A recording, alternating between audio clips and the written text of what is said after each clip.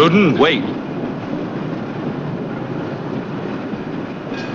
Where's the body? Drunk of my car, in a plastic raincoat. Very thorough. I'm always thorough. In your impulsive fashion, old son. Now, his name. Bennett Halsey. Your partner in training. Yes. How'd you kill him? One shot in the chest, instantaneous death. The gun was silenced, nobody was alarmed. Where? Parking lot of the Golden Gate Memorial. We'll have the bridge renamed Pearly Gates. He insisted on staying with me as I followed Scott and Robinson. Why were you following them? Training exercise to demonstrate my skill in tracing and spotting. Childish. But it did offer a unique opportunity to eliminate them. Fare, please. My treat. Explain.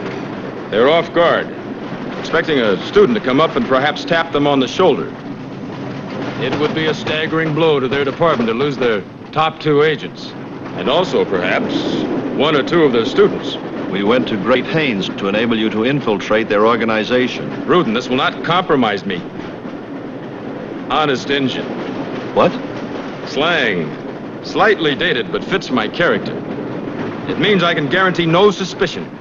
And it would be such a coup for us. Permission granted.